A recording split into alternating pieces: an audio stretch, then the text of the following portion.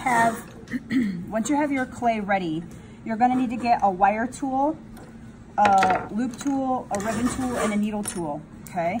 And then you're probably gonna have to have somebody help you with the first part of it because you're going to take your clay and use a wire tool to literally cut the whole thing right in half, okay? Now, when you do this, look at the air bubbles inside of there. Um, you wanna make sure that you don't have newspaper in here either because that's gonna make your project blow up.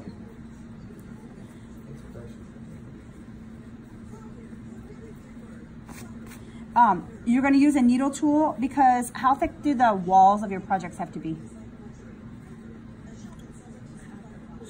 Not half inch. Mm-hmm. A quarter of an inch, this, the, or the thickness of a pencil. So once you get it cut in half, you can't distort the outside edges of this. If you do, when you go to put it back together, is it gonna fit?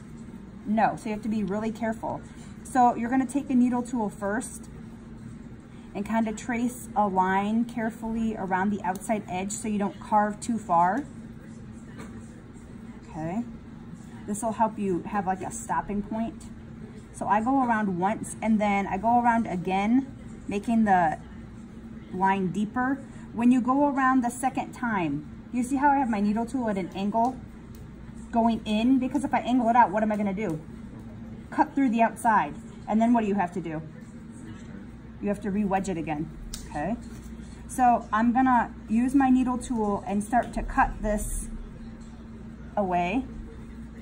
And then what you have to do is you have to hollow out this whole inside, okay, on both halves.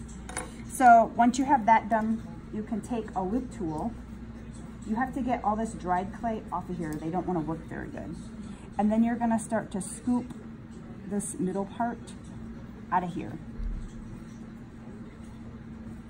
And you can just make a pile and then all your pieces that you have left at the end or all the pieces that you take out of the middle, if you make a pile on your slab mat, you can just take it and dump it in the bucket over there at the end of the class period. Then you have to keep hollowing this out until it's completely hollow.